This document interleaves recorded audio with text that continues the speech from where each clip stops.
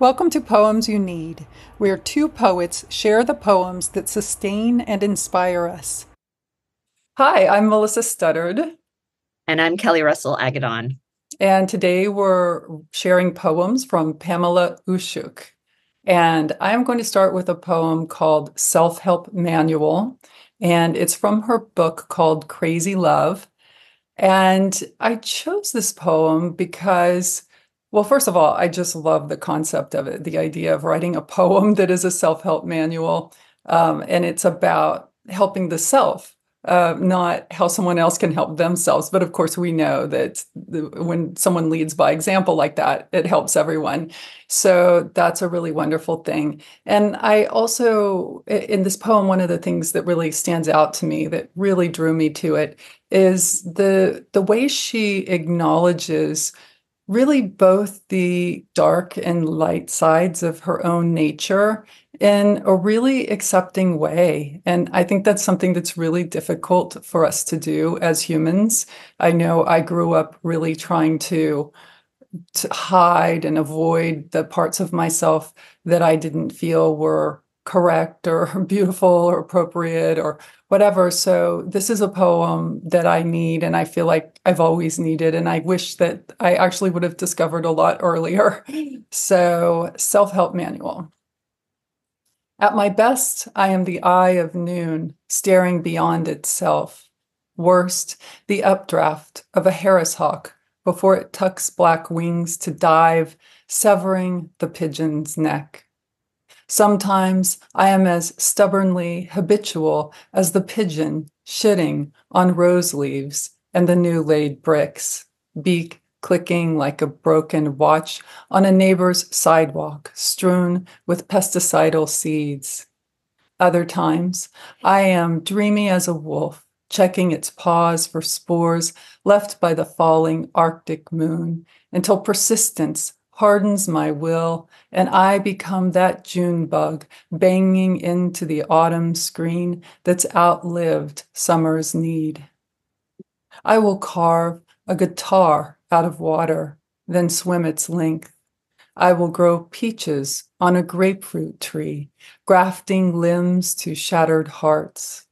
I will chew blue glass until it releases the captive language of stars. I will lie, dig up the sewer leading to a sticky drain, learn the clogged pipes of hatred, of scorn, then flush them clean. I will be more gullible, believe the horizon when it shouts light. I will be the torture rack that stretches out my own truth. Wow. Um, first, the title is brilliant. I, I love that title. I mean, if I saw that in a book, that's the first poem I'm going to go read. Mm-hmm. Um, but then the list of images that come comes after, and there's so many brilliant moments in here. But the one that really stood out for me was um, the June bug. But not only is it the June bug on the screen, it was the screen that outlived kind of it's it's, it's not needed. Um, it had to do with summer, and then the I will chew blue glass. Um, and the captive capture language of stars the captive language of stars it was it was all of her, her images just kept expanding you're so right and i i know the listener viewer can't see the poem but there's a, a little stanza break between the where the June bug and the screen happen, and then going into the next set of images that start with carving the guitar out of water. And the you're right, the images have a sort of expansion. And then when they cross over into that new stanza, they actually move from being literal to being surreal and they just become more and more surreal.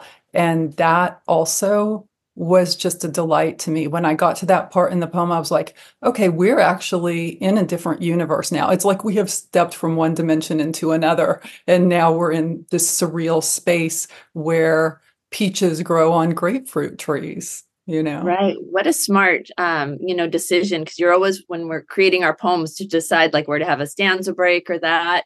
But yeah the poem just keeps getting bigger and bigger. Yeah it was a beautiful choice. And um you mentioned in the beginning, well, not you mentioned, you read about the birds, and that's my poem. Um, there's the, um, I think it was a hawk killing a pigeon. And um, I have a poem that I'm sharing today about a hummingbird. And that poem is called Green Flame. I'm actually not going to say too much about it because uh, this poem was really moving for me when I first read it. And I don't want, you know, the listener or anyone to um, know too much about it. I'm just going to start reading. It's called Green Flame.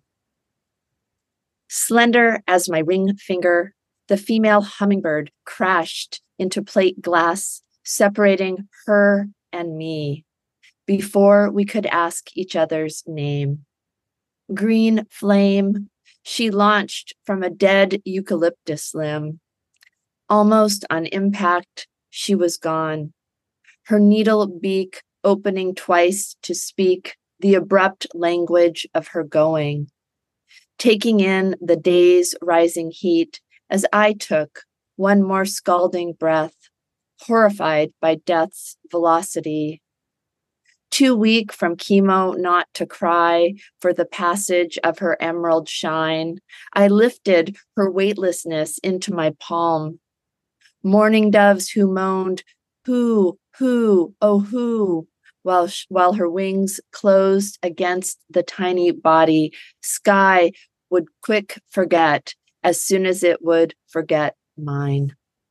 Mm, I love the way you read that with the the sounds really emphasized with all that internal rhyme and um, just the the rhyming sounds of the vowels.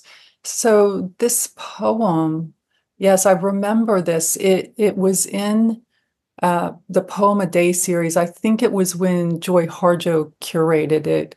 Um, this was one of the poems that that she featured, and um, it's also in Pam's newest book, Refugee, which is a wonderful book. Um, and it's just the poem is so intense. I mean, looking at the similarities and the differences between this poem and the one I just read uh, is so interesting to me because the one, well, they both have all the beautiful imagery, but then one feels like such a compact moment, and the other one feels more like a listing of these, you know, these different things that build up into um, the sort of the final closure of the the poem. So it's just a it, it's amazing that this is the same poet to me in some ways.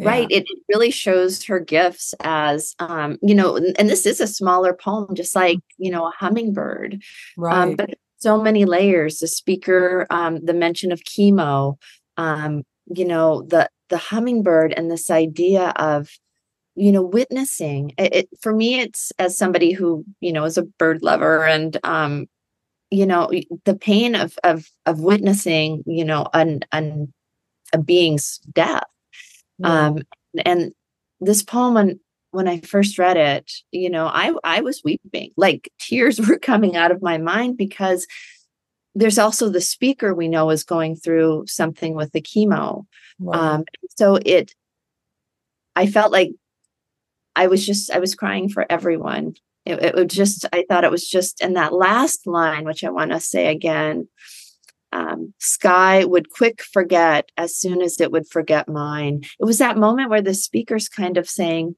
you know, this bird died and someday we all will. Um, right. Um, and, and that idea of being forgotten. And sometimes a poem you need is one that really makes you feel and and cry. And I really needed I needed a good cry. So this was the poem I needed this week.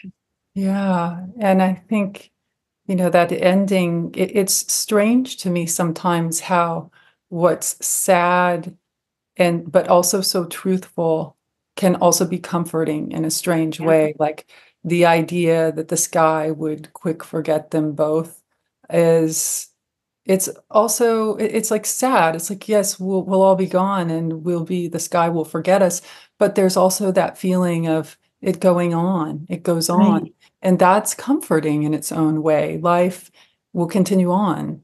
And Right. I I also I really admire the choices she made with language in that last line. Like, you know, the grammatically correct thing would be to say quickly forget. But and you know she knows that. She has been teaching English forever. But mm-hmm. as a poet, this is the kind of choice we can make. She says Right. quick forget, and it makes it a quick forgetting. It makes it quick like the little hummingbird. It makes the line skip along, and it's just such a really intelligent, beautiful choice. Yeah, that's really, I'm glad you pointed that out because, and and you had mentioned too the music throughout it by by choosing it not quickly, like you said, quick forget. You know, the music and the sounds of that and the rhythms of that. Um, it's all throughout this poem. The poem is like just even the beats are like like little hummingbird wings throughout. Oh, that's beautiful. That's what I'm taking away. Thank Oh, you for choosing Thank that. you. Yeah, and thank you for yours. Uh, they another good pairing. Yes. Thank you for celebrating poetry with us today. Information about the poet and works featured can be found on the episode page. And if you enjoyed today's readings, please press the like button and subscribe so not to miss another poem. You can also share the episode with a friend, and we hope you do. Until next time, we wish you beauty, inspiration, and very meaningful days. May you always have the poems you need.